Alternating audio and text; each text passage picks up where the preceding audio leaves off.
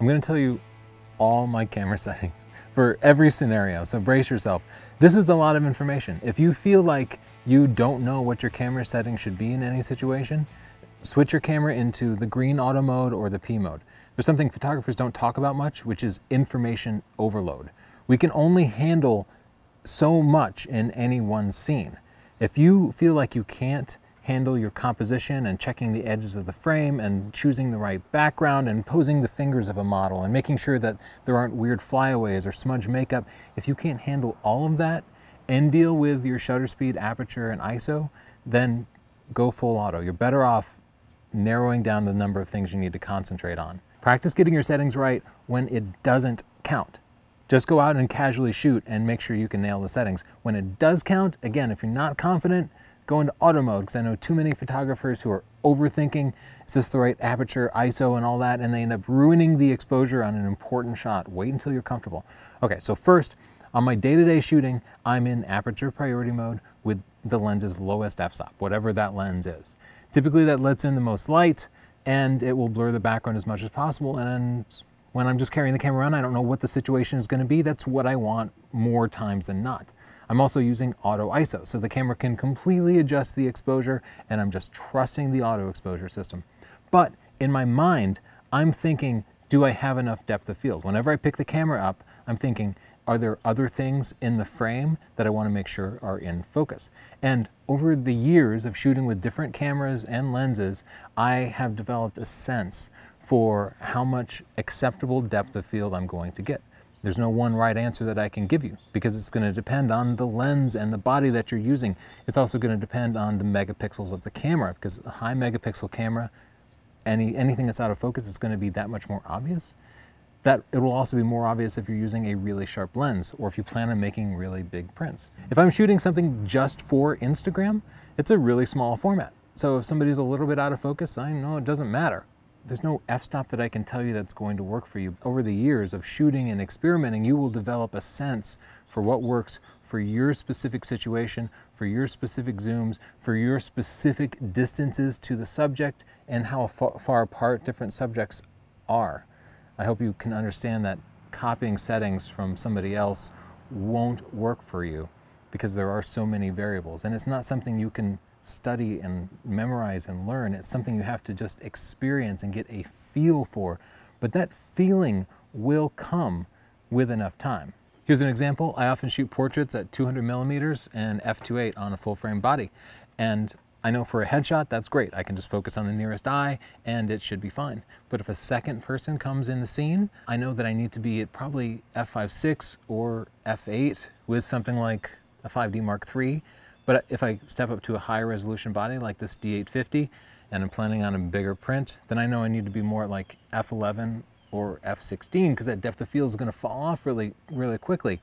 I also know that it depends on the subjects too. If they're two little kids and they're always going to be moving around and I have to grab the snapshot quickly, I'm going to go for a higher f-stop just to improve my chances. If it's two models and I can carefully pose them, then I might be able to get their faces more perfectly aligned and use a lower f-stop. I hope you can see it's a process, a, a feeling that I've developed for my particular gear and the situations that I tend to shoot. It varies so much with subject and distance that there's no copying it. It's something that I just had to learn with experience. And if you're not sure, you take a picture you review it, you zoom in really closely, and then you make adjustments from there. If there's not enough depth of field, use a higher f-stop number, but generally you can always start out at the lowest f-stop number. Now, even though I'm shooting in aperture priority with auto ISO, I'm keeping an eye on the shutter speed that the camera is choosing, because if that shutter speed gets too low, either I might get motion blur from the subject moving, or I might get camera shake from the way I'm holding the camera. And that's a whole other thing entirely.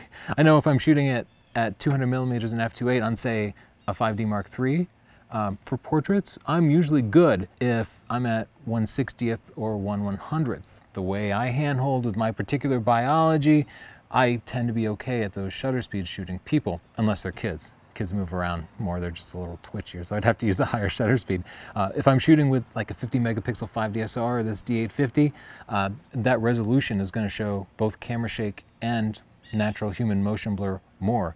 So I'm going to have to choose a higher shutter speed. And with those cameras, I'd probably jump all the way up to like 1 250th, 1 320th to be sure that I got sharp pictures. It also depends on the subject. If it's a professional model, they will pose and freeze and pose and freeze. The reason they do that is they're freezing to give you sharper pictures by eliminating motion blur. But most people aren't professional models. Most people are just a portrait client and they just kind of pose by like moving smooth and fluidly. And that means I actually need to use a higher shutter speed to freeze their motion. It also depends on whether or not I have an image stabilized lens. Like sometimes we'll shoot with an unstabilized uh, 85 millimeter f1.8. Uh, I know that I have to keep the shutter speed higher. The reciprocal rule doesn't necessarily apply anymore, but for that I might be at 1 200ths pretty much all the time just to make sure that I eliminate camera shake. Maybe I use a, a monopod or something depending on the situation if I really want to get down lower and use a lower ISO. Okay, back up. If I notice that my shutter speed is getting too slow to give me sharp pictures, I'll switch from aperture priority to manual mode. Manual mode lets me specify both the aperture and the shutter speed. Though I'm in manual mode, I will continue to use auto ISO. All modern cameras support auto ISO, the old ones didn't, so that's like a huge benefit.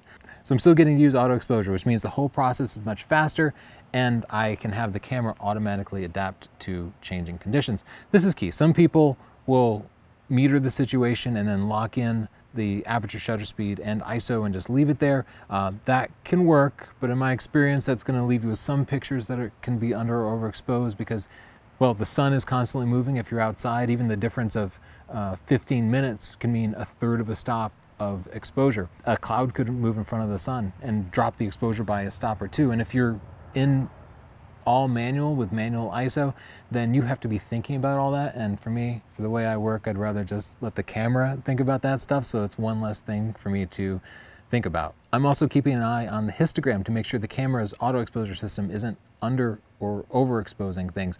Like I said, in my experience, it does a better job of adapting to changing situations than I do, but I've developed a sense for specific scenarios where it's going to fail me. Like the Canon cameras in heavily backlit situations, they tend to underexpose it. So if I'm shooting a portrait with backlighting, which I love to do, I will add a stop of exposure compensation. The 5DSR for some reason in particular seems to really, really underexpose, so I might have to add a stop and a half or even two stops of exposure compensation. With my mirrorless cameras like this Fuji here, I you can use the viewfinder and get a real-time histogram. So I can just adjust it before I shoot. With SLRs like this, I have to shoot and then review the picture, make adjustments, and then reshoot. So getting those exposures right is one of the reasons that I like to have an electronic viewfinder on my camera. I also want to make the point, like you can't say always dial in one stop of exposure uh, compensation in this situation because the Nikon bodies have a little bit more uh, complex metering system that can see faces and stuff. And just in my experience, something like a D810 or a D850 will often nail the exposure on a face, whereas my Canon equivalent bodies would require me to put that exposure compensation in manually.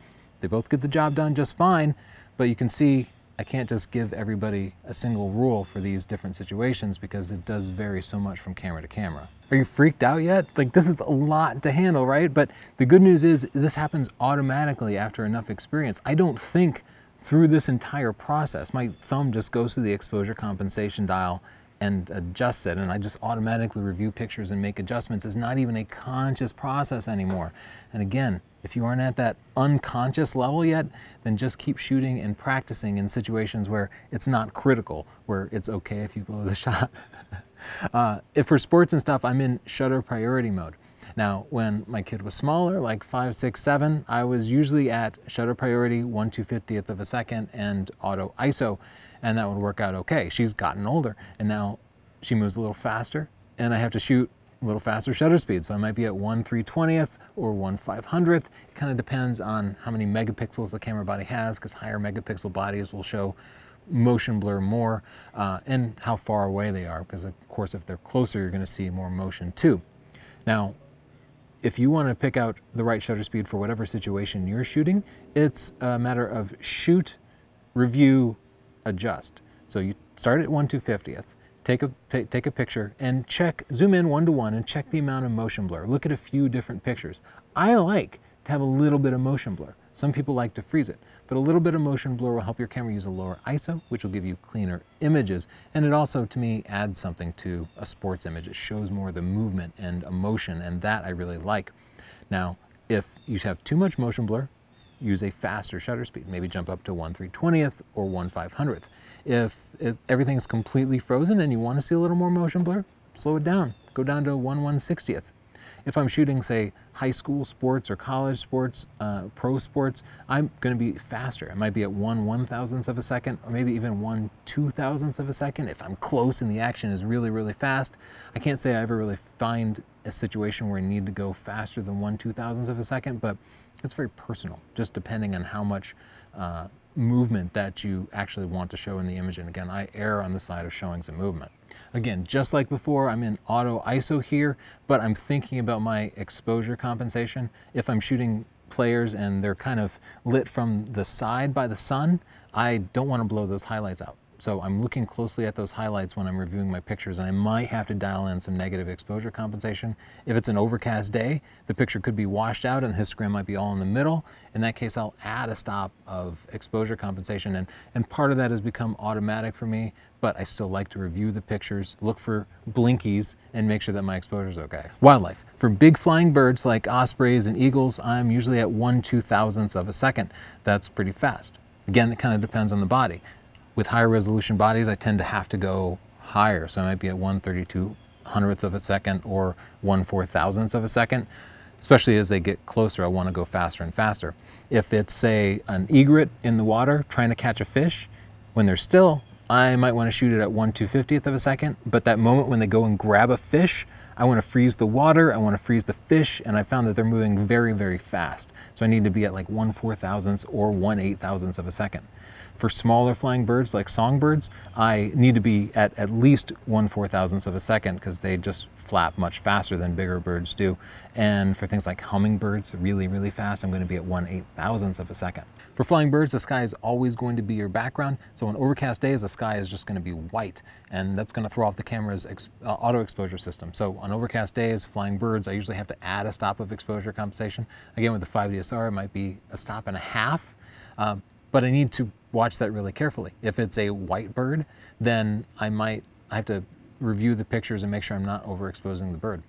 If it's a, say, an egret that's against water, water tends to be very dark, depends on how the light is reflecting, but sometimes an egret next to the water, the egret will be eight or 10 stops brighter than the water. And I don't want to expose the egret, but the camera's metering system will see all that dark water and give me a really uh, slow shutter speed, so I'll have to dial in sometimes two, negative two or negative three stops of exposure compensation, but I'm checking out the highlights on those white birds to make sure that they're not overexposed, because you can pull up shadows, but you can only recover blown out highlights so much. Now, the rules are different for perch birds, because they're holding still mostly, but birds are always like moving their head around and they're on a branch usually, and the branch is moving up and down with the wind and such too. Uh, but also you have some camera shake. So I'm trying to use the slowest shutter speed I can in order to get my ISO as low as possible. Usually perch birds are in the shade of the woods or the forest or whatever, so your ISO can get high and your pictures can be noisy. So I want to use the slowest shutter speed I can. My process is I start in shutter priority, automatic ISO, 1 250th of a second, and I will take 10 shots. And if the bird's still there, then I will double the shutter speed. I'll go to 1 125th of a second, and I'll take 20 shots. And if the bird's still hanging around, I'll drop down to 1 60th of a second and I'll take 40 shots. And sometimes if I'm feeling really ambitious and the bird is still hanging around, I'll drop to 1 30th of a second and just take as many shots as I can. Now, that can end up being a lot of pictures of one bird, but you know, if it's a portfolio worthy picture, that is totally worth it. And digital pictures don't cost you anything. You don't have to nail it on one try. That's silly. I will import my pictures and then review them backwards. So I'll start at the slowest shutter speeds and look for that one picture that just happened to end up sharp. Maybe the branch was moving in the wind, but it was just at its apex and the bird just happened to pause and any camera shake I might have had was just momentarily frozen by the lens's image stabilization and that will be my shot. Sometimes that best shot ends up being at 1 30th of a second, and sometimes it ends up being at 1 60th or 1 125th. But with that process, you're pretty much guaranteed of getting one sharp shot, even if the bird takes off right away, uh, or even if conditions are bad. But when you do have the time to be leisurely, you're going to get the cleanest possible picture. Now, for astrophotography, it gets a little more complex. Again, I'm in manual mode. I will start out, always the lens is wide open because you're just gathering as much light as you can. I'll have the ISO usually starting out at 1 3200th and then the shutter speed at 1 30th of a second. It's taking pictures of stars, right? I'll take a picture and look at the histogram. I want the stars to be almost peaking, almost highlighted. And if they're not, then I will raise my ISO up to 1 6400th of a second, 1 12,800th. Um, it, it depends on the atmospheric conditions, where you are, how high you are in the atmosphere, uh, how humid it is, all this stuff you just pretty much have to shoot and test. Now shutter speed also really matters too. 30 seconds will often give me star trails. Sometimes 30 seconds is fine. It depends on my focal length, the direction I'm facing, and how many megapixels the camera has. Lower megapixel cameras will hide some of that the motion blur caused by the stars. If there's significant motion blur, I'll drop the shutter speed down to like 1 20th or 1 15th of a second. There are formulas you can use, but for me, it's always easier just to, I'm, just to take a couple of test shots and zoom in one to one and see how much motion blur there is and adjust from there. You know, I have to take a couple of test shots to nail the exposure anyway, so getting the exposure right and cutting out the motion blur are something I do in typically two to three minutes, taking three or four shots, and then I'm set. And then I can just keep shooting at those settings for the rest of the night.